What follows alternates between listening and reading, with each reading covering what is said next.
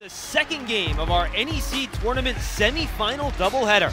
The seven-seeded Robert Morris Colonials visiting the top-seeded Mount St. Mary's Mountaineers. Stewart, one of them, and just got the handoff from Aaron Tate. Swatted down low by Chris Wray, but Matty McConnell, the great steal the other way, hands it off and Tate finishes. Wray, he's a lot taller than Tate, but Tate, a fierce defender, hits the lefty hook with the ultra-quick Junior Robinson.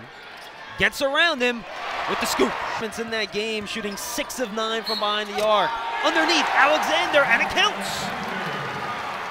He's back in now, and Long settles for the three. Stewart to the rim. Greg Alexander, stop and pop for three. Rebound, Miles Wilson after the nice pass from the Wandu. Great offensive possession for Robert Morris, but a great defensive one for Mount. And Greg Alexander hits the triple, his first of the game. You talk about guards, rebounding, one of my favorite all time, Tony Lee from Robert Morris, year in and year out in the NEC. Clive Allen with the tough drive to the basket. Now Wray. They switch Burke on the Robinson. Defends it well, but he hits the layup and the foul. Leads back down to three. Long tries to answer. He does. Protects the ball from Chris Wray, who almost gets the steal. Clive Allen to the basket and the foul. Earlier, they end up benefiting and making a five-point run.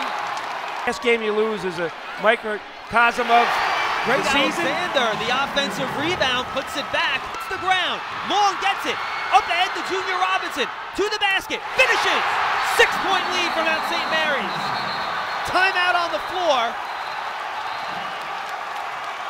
And it's going to be Robert Morris basketball. Wow. And Mount St. Mary's will be hosting their first ever NEC championship game here at the Knott Arena. They defeat Robert Morris 75 to 66.